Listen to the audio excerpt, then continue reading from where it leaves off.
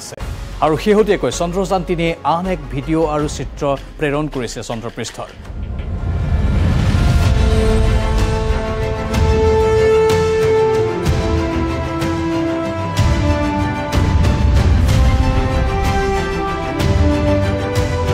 চন্দ্ৰপৃষ্ঠৰ দক্ষিণ মেৰুৰ অৱস্থান কেনেকুৱা? কেনেধৰণৰ এক অৱস্থানৰ মাজত আছে? বা তাৰ ভূপৃষ্ঠ কেনেকুৱা? সেই সকলো চন্দ্ৰযান তিনিয়ে শেহতীয়াকৈ প্ৰেৰণ কৰা এই ভিডিঅ'টোত ধৰা পৰিছে। আপোনালোকে এই ভিডিঅ'টোৰ জৰিয়তে কিছু আভাস পাব পাৰিব যে চন্দ্ৰপৃষ্ঠৰ দক্ষিণ মেৰু কেনেকুৱা হ'বলৈ গৈ আছে বা তাত চন্দ্ৰপৃষ্ঠত চন্দ্ৰযান তিনিয়ে অৱতৰণ কৰাৰ পাঁচ মুহূৰ্তত অভিযানবোৰ কেনেধৰণে চলিব? অলপ উখুৰা মুখুৰা আছে ক'ৰবাত গহ্বৰ আছে ক'ৰবাত বৃহৎ বৃহৎ গাঁত আছে ক'ৰবাত ওখ পাহাৰ সদৃশ কিছু দৃশ্য দেখিবলৈ পোৱা গৈছে।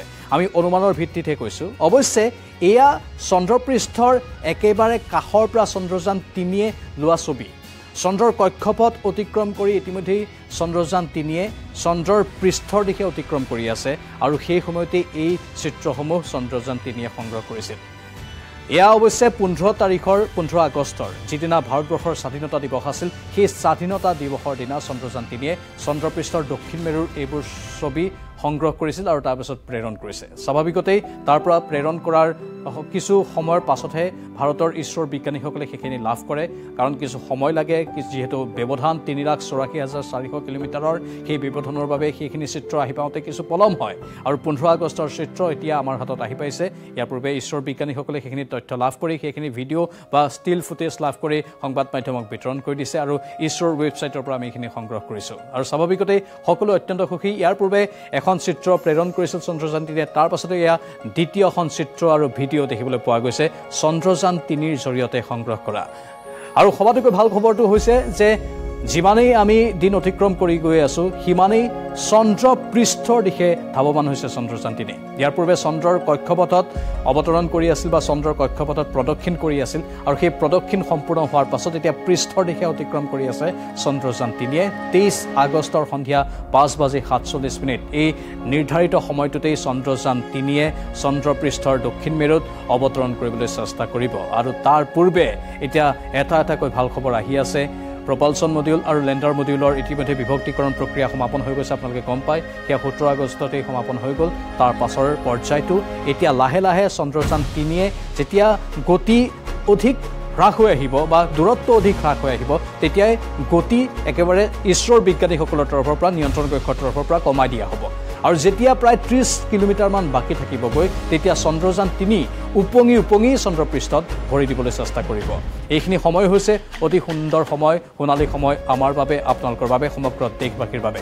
সমগ্ৰ দেশবাসীৰ আজি গৌৰৱান্বিত হৈ পৰিছে আৰু সকলোৱে ভগৱানৰ ওচৰত প্ৰাৰ্থনা কৰিছে যাতে চন্দ্ৰযান তিনিৰ এই অভিযান সফল হয়।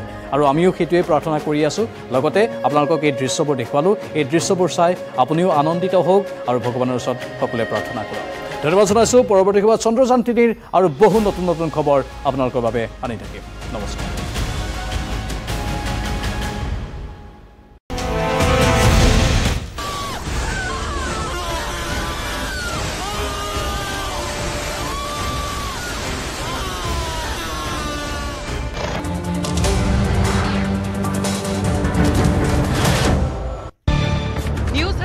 আগবঢ়াইছে চিগমাছ এভৰিডে স্পাইচেছ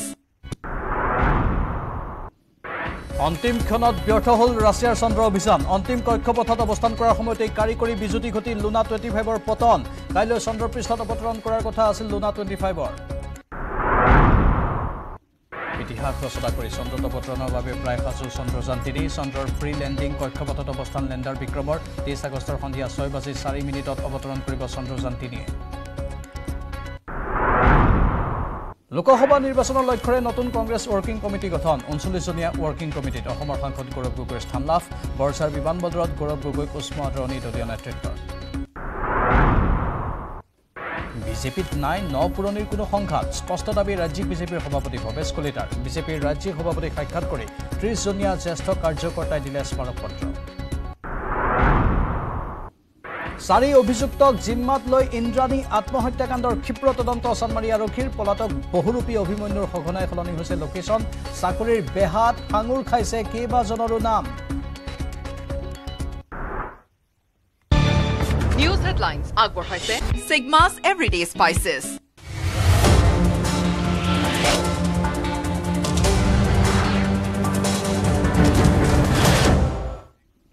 নতুনকৈ গঠন কৰা হ'ল কংগ্ৰেছৰ ৱৰ্কিং কমিটি। ঊনচল্লিছজন সদস্যৰে গঠিত নতুন ৱৰ্কিং কমিটিত অন্তৰ্ভুক্ত হৈছে অসমৰ সাংসদ গৌৰৱ গগৈ।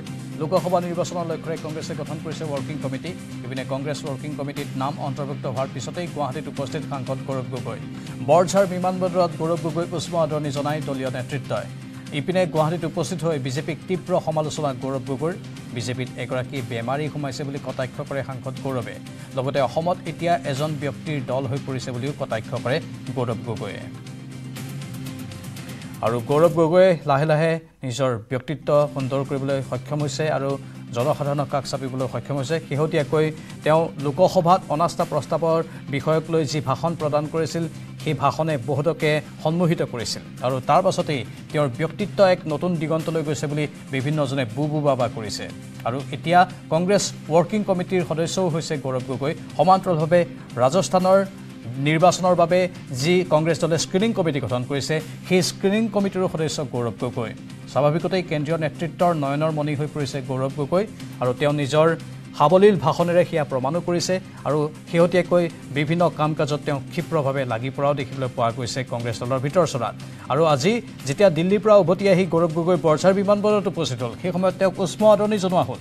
কংগ্ৰেছ দলৰ বহুসংখ্যক সদস্যই গামোচা পিন্ধাই উষ্ম আদৰণি জনালে গৌৰৱ গগৈক।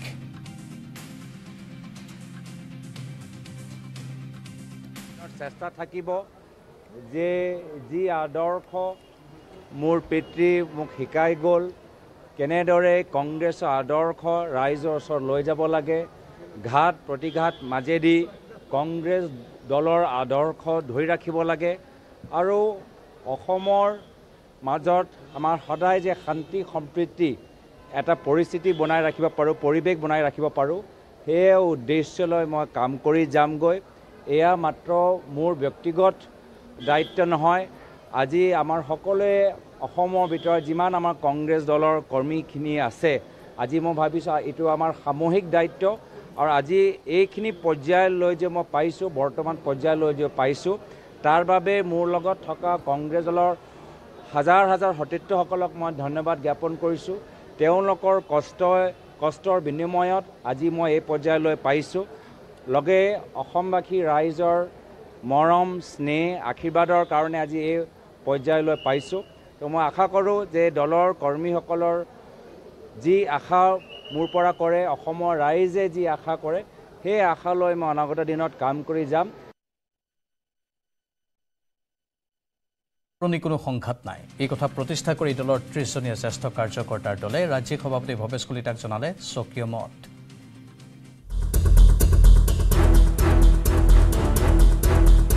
বিজেপিত ন পুৰণি কোনো সংঘাত নাই। দলে কোনো এজন ব্যক্তিক সদায় পদবী দি থাকিব নোৱাৰে। পুৰণি বিজেপি থিয় হ'ল সভাপতিৰ ওচৰত।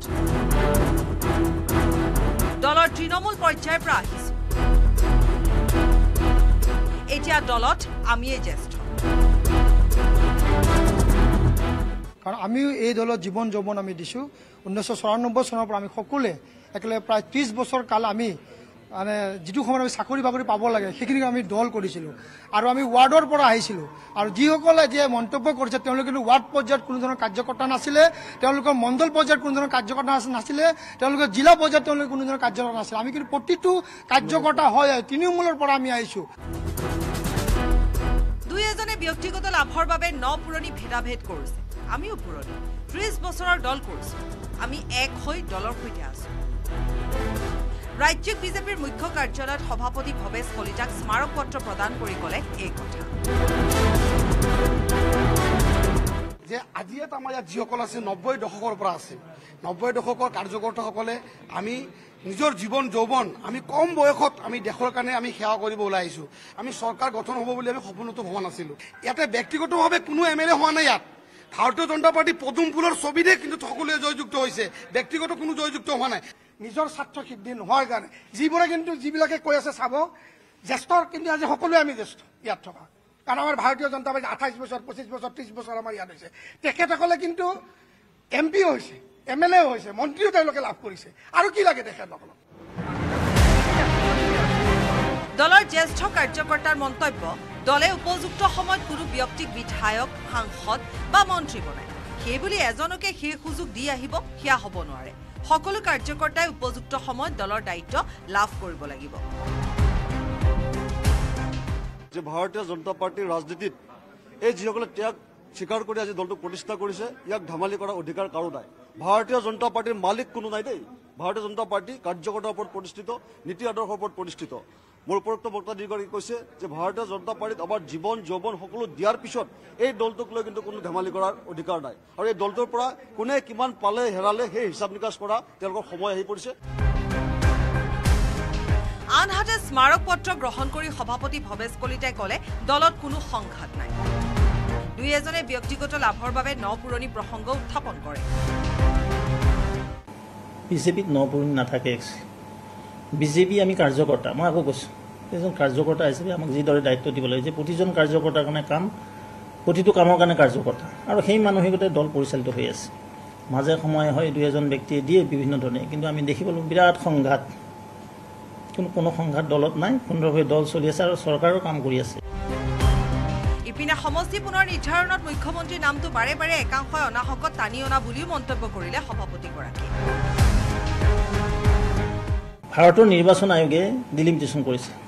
আকৌ কৈছোঁ যে ভাৰতৰ নিৰ্বাচন আয়োগ এ চি আই এই কামটো কৰিছে। ড্ৰাফটিং কৰিছে ফাইনেল লিষ্ট ওলাই দিছে। তো ইয়াত চৰকাৰৰ কোনো কৰণীয় নাছিলে। মাননীয় মুখ্যমন্ত্ৰী মহোদয়ৰ নাম কিছুমান দল সংগঠনৰ লগতে আৰু দুজন এজন ব্যক্তিও টানি আনে। এই ক্ষেত্ৰত মই তেখেতসকলৰ প্ৰতি বিনম্ৰতে অনুৰোধ জনাইছোঁ যে মুখ্যমন্ত্ৰী ডাঙৰীয়াৰ নেতৃত্বত যদি ড্ৰাফটিং হ'ল হয় তেতিয়া চৰকাৰৰ হ'ল হয়। দলত যোগদান কৰা সকলোৰে আঠৰ পৰা দহ বছৰ হৈ গৈছে। সকলোকে দায়িত্ব দিবই লাগিব। সন্তুষ্টি আৰু অসন্তুষ্টি দলত থাকেই। পোৱা নোপোৱাৰ বেদনাও থাকে। সভাপতিগৰাকীৰ এই মন্তব্যৰ বিপৰীতে অসন্তুষ্ট জ্যেষ্ঠ কাৰ্যকৰ্তাৰ স্পষ্ট দাবী এতিয়া দল আমি চলাম। দলৰ আমি এতিয়া জ্যেষ্ঠ তেওঁলোকে অভিভাৱক হৈ আশীৰ্বাদ দিয়ক।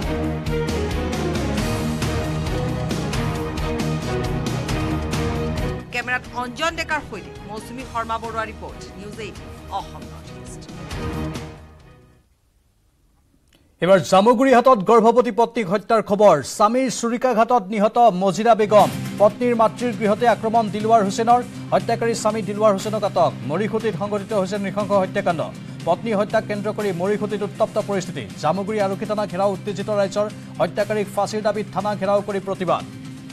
জামুগুৰিহাটত গৰ্ভৱতী পত্নীক হত্যাৰ খবৰ স্বামীৰ চুৰিকাঘাটত নিহত মজিদা বেগম পত্নীৰ মাতৃৰ গৃহতেই আক্ৰমণ দিলৱাৰ হুছেইনৰ হত্যাকাৰী স্বামী দিলৱাৰ হুছেইনক আটক কৰা হৈছে। মৰিখুটিত সংঘটিত হৈছে এই নৃশংস হত্যাকাণ্ড। পত্নী হত্যা কেন্দ্ৰ কৰি মৰিখুটিত উত্তপ্ত পৰিস্থিতি। জামুগুৰি আৰক্ষী থানা ঘেৰাও কৰে উত্তেজিত ৰাইজে। হত্যাকাৰীক ফাঁচীৰ দাবীত থানা ঘেৰাও কৰি প্ৰতিবাদী কাৰ্যসূচী ৰূপায়ণ কৰে।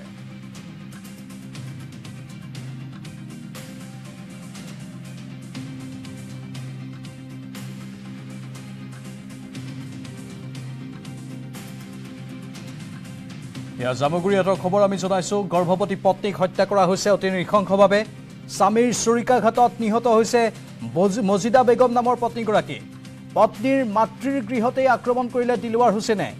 হত্যাকাৰী স্বামী দিলৱাৰ হুছেইনক বৰ্তমান আটক কৰা হৈছে। আমি টিভিৰ পৰ্দাত সেইগৰাকী দিলৱাৰ হুছেইনৰ মুখমণ্ডল দেখুৱাইছো।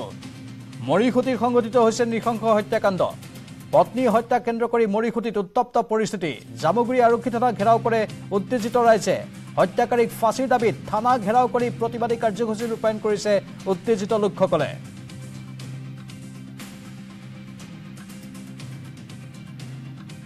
দেখিছো? ছোৱালীটোক মই যেনেকে উঠাব গৈছিলো মই দেখি নাপাওঁ নোৱাৰা কাৰণে মই গুচি আহিলো। এনেকে কাটিছে ভৰিটো। হা এনেকে ফালি দিছে। তাৰপিছত এইফালে এনেকে মাৰিছে ইফালে মাৰিছে। পিছফালে মাৰিছে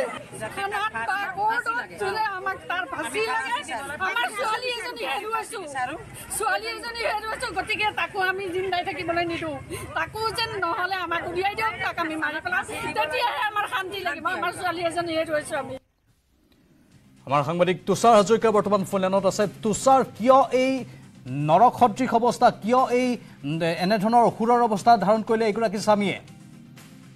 হয় প্ৰাঞ্জল আচলতে আজি দিনৰ ভাগতে এই হত্যাকাণ্ডটো সংঘটিত হৈছিলে আৰু যি মজিদা বেগম মজিদা বেগম তেওঁ মাতৃৰ গৃহলৈ গৈছিলে মাতৃৰ গৃহ হৈছে মৰিখুটিত আৰু মাত- মাতৃ কিছু শাৰীৰিকভাৱে অসুস্থ হৈ আছিলে আৰু সেইবাবে তেওঁ মাতৃ গৃহলৈ গৈছিলে আৰু তাৰ পিছতে আচলতে এই মাতৃ গৃহতেই এইগৰাকী দিলৱাৰ হুছেইনে তেওঁৰ পত্নীক ইতিমধ্যে চুৰিৰে আঘাত কৰি হত্যা কৰিছে আৰু তেওঁৰ পত্নী আচলতে এ, অন্তঃসত্ত্বা অৱস্থাতে আছিল আৰু এই এ, দিলৱাৰ হুছেইনৰ ঘৰ হৈছে ইটাখোলাত। আৰু ইয়াকে লৈ আচলতে আজি দিনজুৰি আচলতে মৰি খুটি আহ, চাঞ্চল্যৰ সৃষ্টি হৈছে। ইয়াৰ পিছতে আজি এই কিছু সময় পূৰ্বে জামুগুৰি আৰক্ষী থানাত মৰিসুটি অকল ৰাইজ ৰাইজ আহি পেলাই জামুগুৰি আৰক্ষী থানাক ঘেৰাও কৰে। কাৰণ সেই থানাতে আচলতে আহ, দিলৱাৰ হুছেইনক কৰায়ত্ব কৰি আৰক্ষীয়ে তাতে ৰাখি সোধা পোছা চলাই আছিলে আৰু মৰিসুটিৰ যথেষ্ট সংখ্যক লোক গৈ পেলাই সেই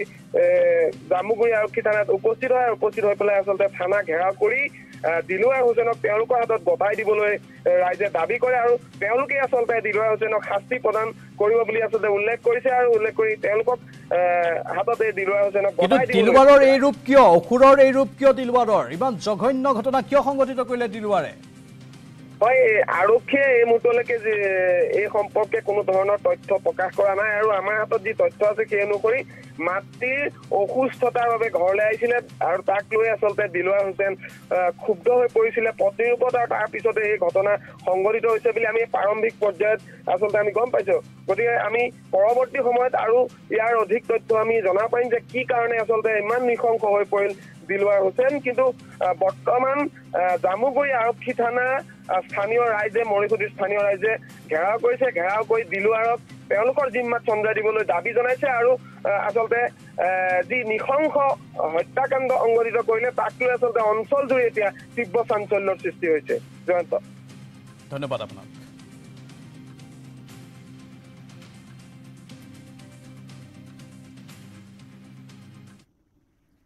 আৰু বাতৰি এইখিনিতে সময় হৈছে বাণিজ্যিক বিৰতিৰ। সাধাৰণ ষ্টীল এনেকৈ পৰে মাইথন ষ্টীল এনেকৈ পৰে ধম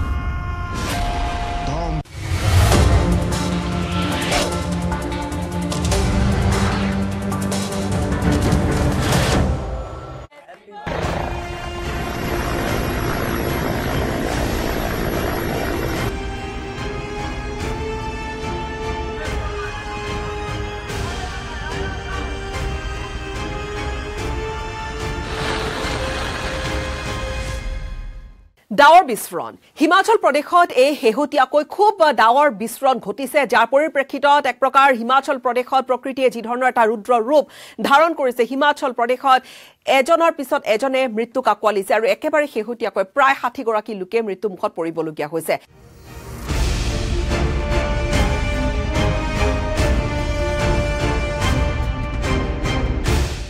প্ৰসংগটো হৈছে যে এই ডাৱৰ বিস্ফোৰণ কি বা এই ডাৱৰ বিস্ফোৰণ কিয় ঘটিছে?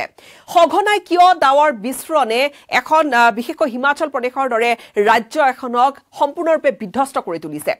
ডাৱৰ বিস্ফোৰণ আমি আগতীয়াকৈ গম পোৱাৰ কোনো উপায় নাই নেকি? আৰু আটাইতকৈ ডাঙৰ প্ৰশ্নটো যে অসম বা উত্তৰ পূৰ্বাঞ্চলত আছে নেকি সম্ভাৱনা? ডাৱৰ বিস্ফোৰণৰ দৰে এটা ভয়ংকৰ ঘটনা ঘটাৰ। যাৰ পৰিপ্ৰেক্ষিতত মুহূৰ্ততে পানীৰ ঢলে উটুৱাই লৈ যাব পাৰে। এটা বৃহৎ অঞ্চল সৃষ্টি কৰিব পাৰে বিভীষিকাৰ।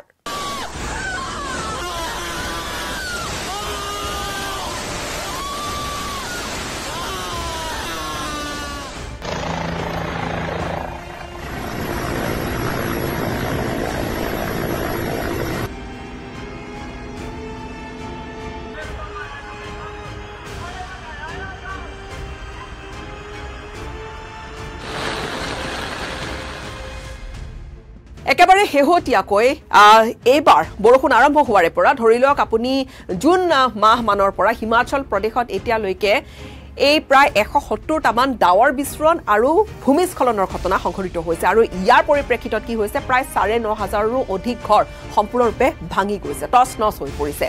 কিন্তু এতিয়া মূল প্ৰশ্নটো হৈছে যে কেনেকৈ ঘটে ডাৱৰ বিস্ফোৰণ বা ডাৱৰ বিস্ফোৰণ হয়নো কি? ডাৱৰ বিস্ফোৰণ বুলি বুজাবলৈ গ'লে আচলতে যথেষ্ট কম সময়ৰ ভিতৰত প্ৰচুৰ পৰিমাণৰ বৰষুণ। যথেষ্ট বৃষ্টিপাত হ'ব। খুব কম সময়ৰ ভিতৰতে যি বৃষ্টিপাতে যি বৰষুণে মুহূৰ্ততে এনেকৈ পানীৰ ঢল নমাব যে এটা অঞ্চল সম্পূৰ্ণৰূপে হয়তো বুঢ়াই পেলাব নহ'লে তাত চলাব বিভীষিকা। এই ডাৱৰ বিস্ফোৰণ যদিও বা প্লেইনছত হ'ব পাৰে কিন্তু মূলত এয়া পাহাৰীয়া অঞ্চলতেই সংঘটিত হয়। বা ডাৱৰ বিস্ফোৰণৰ ঘটনাবোৰ শেহতীয়া ঘটনাকেইটাই চাওকচোন হিমাচল প্ৰদেশত। যি এখন পাহাৰীয়া ৰাজ্য। এই পাহাৰীয়া ৰাজ্যতে অধিকাংশ ডাৱৰ বিস্ফোৰণৰ ঘটনা ঘটে। আৰু একেবাৰে আমি শেহতীয়াকৈ যদি অসমৰ কথা কওঁ দুহেজাৰ চৈধ্য চনৰ একেবাৰে শেহতীয়াকৈ যি মেঘালয় সীমান্তত যি এক ডাঙৰ ডাৱৰ বিস্ফোৰণৰ গাৰো হিলছত যি এক ডাঙৰ ডাঙৰ ডাৱৰ বিস্ফোৰণৰ এক ঘটনা ঘটিছিল তাত আচলতে যথেষ্টখিনি গোৱালপাৰাত ক্ষয় ক্ষতি হৈছিল। সেয়া আজি প্ৰায় ন বছৰমান পূৰ্বৰ কথা। এতিয়া আহিছোঁ সেই প্ৰসংগটোলৈ যে কিয় ঘটিছে ডাৱৰ বিস্ফোৰণ বা কিয় ঘটে। ডাৱৰ বিস্ফোৰণ ক'বলৈ গ'লে বিভিন্ন ফেক্টৰ্ছৰ ওপৰত বিভিন্ন কাৰণৰ ওপৰত নিৰ্ভৰ কৰে। ডাৱৰ বিস্ফোৰণ খুব সৰু ঠাই এডোখৰত হয় কিন্তু ইয়াৰ যি প্ৰভাৱ এয়া ইমান বেছি থাকে বা ইমান প্ৰচণ্ড এটা প্ৰভাৱ থাকে যে এটা বৃহৎ অঞ্চলত ই ক্ষয় ক্ষতি কৰে। ধৰি ল'লো আমি খুব সৰু পাহাৰীয়া অঞ্চল এটা তাত ডাৱৰ বিস্ফোৰণ ঘটিছে। এতিয়া এই ডাৱৰ বিস্ফোৰণ ঘটিবলৈ প্ৰথমে কি হয় জানেনে? মৌচুমী বতাহে যেতিয়া প্ৰৱেশ কৰে আৰু যেতিয়া শীতল বতাহৰ সৈতে যেতিয়া ইণ্টাৰেকশ্যন হয় এই মৌচুমী বতাহৰ প্ৰৱেশ আৰু শীতল বতাহৰ সৈতে যেতিয়া একলগ হয় তেতিয়া খুব বেছি পৰিমাণৰ ডাৱৰৰ ফৰ্মেশ্যন হয় বা ডাৱৰ মেঘ তাত জমা হয় যাৰ পৰিপ্ৰেক্ষিতত কিছু সময়ৰ ভিতৰতে খুব প্ৰচুৰ পৰিমাণৰ বৰষুণ হয়। আৰু এই বৰষুণৰ পৰিমাণ কিমান জানেনে? বৰষুণ প্ৰায় এঘণ্টাত এশ কিলোমিটাৰ এশ স্কুৱেৰ কিলোমিটাৰৰ এটা অঞ্চলত। এঘণ্টাত দহ চেণ্টিমিটাৰ বৰষুণ।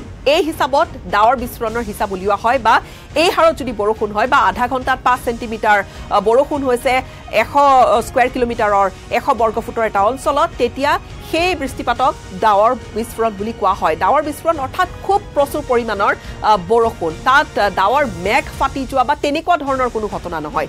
বৰষুণ বৰষুণ আৰু কেৱল বৰষুণেই হৈছে ডাৱৰ বিস্ফোৰণ। কিন্তু ইয়াত কিছু আন ফেক্টৰ থাকে। যেনে ইতিমধ্যে ক'লোৱে যে পাহাৰীয়া অঞ্চলসমূহতে ডাৱৰ বিস্ফোৰণ হয়। ডাৱৰ বিস্ফোৰণৰ ওপৰত প্ৰকৃতিৰ এটা অঞ্চল প্ৰকৃতিয়ে কি ধৰণে গঢ় দিছে? তাত পাহাৰ আছে তাত নৈ আছে তাত বতাহ খুব বেছি বলে তাত ঠাণ্ডা বতাহ খুব বেছি বলে এনেকুৱা ধৰণৰ কথাবোৰৰ ওপৰত ডাৱৰ বিস্ফোৰণ নিৰ্ভৰ কৰে। আৰু লগতে অৰগ্ৰাফিক ফেক্টৰ। যি হৈছে যেতিয়া বতাহ বলিব বতাহ আহি যেতিয়া ওখ পৰ্বতৰ সৈতে খুন্দা খাব তেতিয়া সেই বতাহ ওপৰলৈ উঠি যাব। আৰু তাৰ পিছত খুব প্ৰচুৰ পৰিমাণৰ তাত মেঘৰ গঠন হ'ব যাৰ পৰিপ্ৰেক্ষিতত খুব কম সময়ৰ ভিতৰতে বৰষুণ হ'ব। এয়া হৈছে অৰগ্ৰাফিক ফেক্টৰ আৰু এই গোটেইখিনিৰ ওপৰতে নিৰ্ভৰ কৰে ডাৱৰ বিস্ফোৰণ হ'ব বা ডাৱৰ বিস্ফোৰণ ক'ৰবাত ঘটিব নেকি। কিন্তু কথাটো হৈছে যে আমি ইমান টেকনলজিকেলি আমি এডভান্স ডাৱৰ বিস্ফোৰণৰ আমি প্ৰেডিকশ্যন বা ডাৱৰ বিস্ফোৰণ আমি আগতীয়াকৈ আগজাননী পোৱাৰ তেনেকুৱা কোনো ব্যৱস্থা নাই নেকি? ইয়াত আচলতে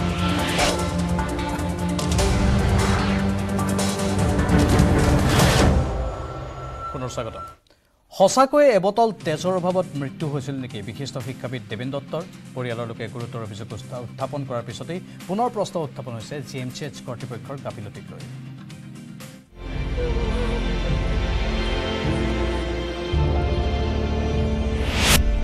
কাৰ্ডিয়েক এৰেষ্ট ছেপ্টিচেমিয়া নে তেজৰ অভাৱ?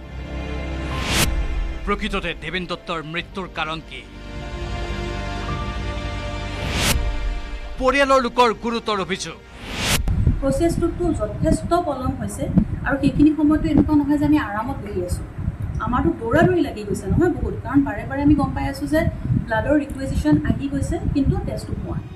বিশিষ্ট চিন্তাবিদ দেৱেন দত্তৰ মৃত্যুক লৈ এইবাৰ পৰিয়ালৰ লোকে তুলিছে গুৰুতৰ অভিযোগ। সঠিক সময়ত দেৱেন দত্তক তেজ যোগান ধৰা নাছিল জি এম চি এইচে ছঘণ্টা পলমকৈ তেজ দিছিল জি এম চি এইচে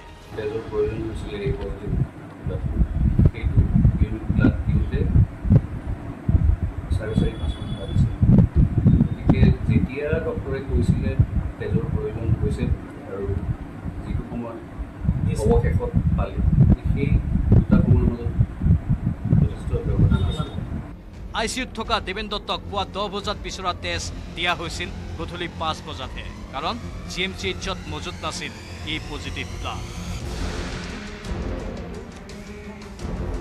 পৰিয়ালৰ লোকে অন্য ঠাইৰ পৰা ব্লাড অনাৰ কথা উল্লেখ কৰিছিল। কিন্তু সেই তেজ লোৱাৰ কথা জি এম চি এইচ কৰ্তৃপক্ষই অস্বীকাৰ কৰিছিল বুলি মন্তব্য প্ৰয়াত দেৱেন দত্তৰ কন্যা সংযুক্তা দত্তৰ। কিন্তু একেটাই বস্তু যদি কালি এজন ধৰক এনেকুৱা পেচেণ্ট আহিলে হয় যাৰ বোলে এক্সিডেণ্ট হৈ পেলাই ইমান বেছি তেজ ওলাই গৈছে যে যাক ইমিডিয়েটলি ব্লাড সেইটো কাৰণেই লাগে। তেতিয়াওতো তেওঁ একেটা অৱস্থাতে পৰিলেহেঁতেন আনকি পুত্ৰ সমুদ্ৰগুপ্ত দত্তইও জি এম চি এইচৰ চিকিৎসাত ব্যাপক গাফিলতি হোৱাৰ অভিযোগ তুলিলে প্ৰত্যেকজন ঘৰৰ পৰিয়ালৰ সদস্য বেলেগ বেলেগ কামত আমি কৰি আছোঁ। গতিকে সেইখিনি সময়ত ব্লাড বেংকত এজন মানুহ বহি তেওঁ ৰৈ আছে দিবলৈ তেওঁৰ পৰা কালেক্ট কৰোঁতে যথেষ্ট কিছু এটা সময় গৈছিল ইফালে জি এম চি এইচ কৰ্তৃপক্ষই সমগ্ৰ বিষয়টো তদন্ত কৰি দেৱেন দত্তৰ মৃত্যু সন্দৰ্ভত যি মন্তব্য কৰিছিল তাক লৈও এতিয়া প্ৰশ্ন উত্থাপন হৈছে। তদন্তৰ বাবে গঠন কৰা চাৰিজনীয়া কমিটিয়ে দিয়া প্ৰতিবেদন আচলতে কিমান সত্য? মৌচুমী শৰ্মা বৰুৱাৰ report News Eighteen Assam North East.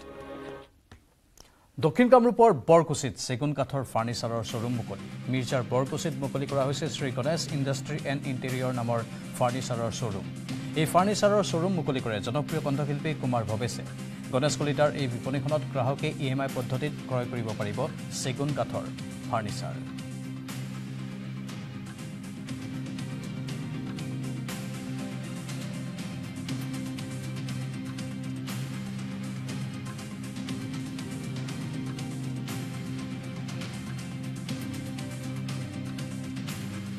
আচলতে আজি খুব শুভ দিন।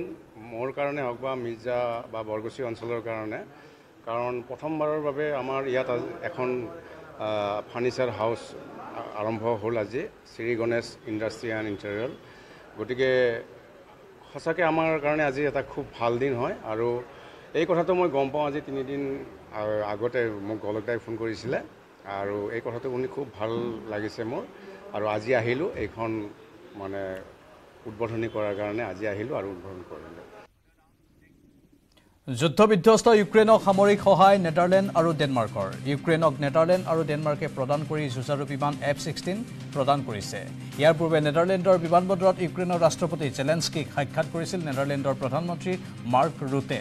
আমেৰিকাত নিৰ্মিত এফ ছিক্সটিন যুদ্ধ বিমান ইউক্ৰেইনক গতাই দিবলৈ আমেৰিকাই কৰ্তৃত্ব প্ৰদান কৰিছিল নেদাৰলেণ্ড আৰু ডেনমাৰ্কক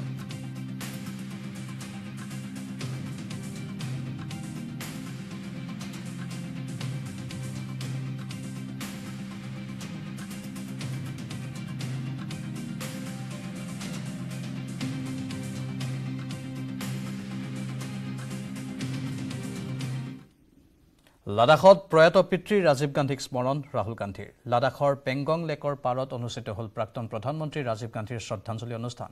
ইফালে দিল্লীৰ বীৰভূমিত থকা সমাধিটো জয়ন্তীৰ দিনা শ্ৰদ্ধাৰে স্মৰণ কৰা হ'ল দেশৰ প্ৰাক্তন প্ৰধানমন্ত্ৰীগৰাকীক।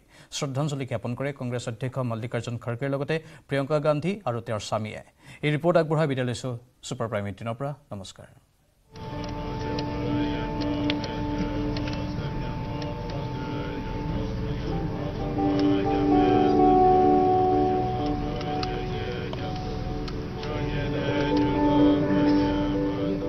লাডাখৰ পেংগং লেকৰ পাৰত দেশৰ প্ৰাক্তন প্ৰধানমন্ত্ৰী ৰাজীৱ গান্ধীৰ জয়ন্তী।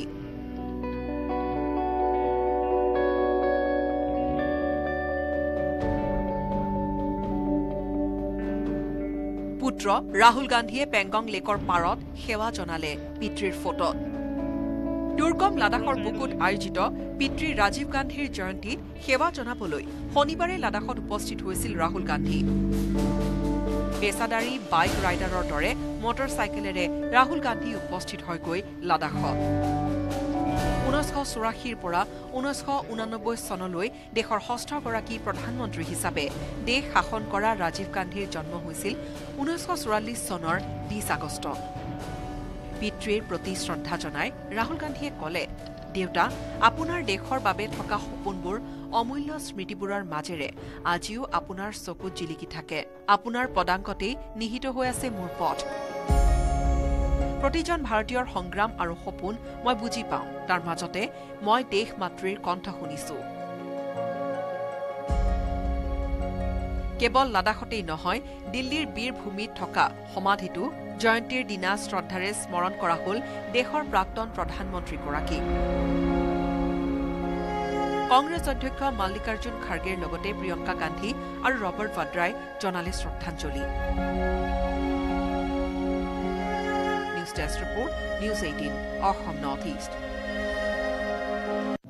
সাধাৰণ ষ্টীল এনেকৈ পৰে। মাইথন ষ্টীল এনেকৈ পৰে ধমকৈ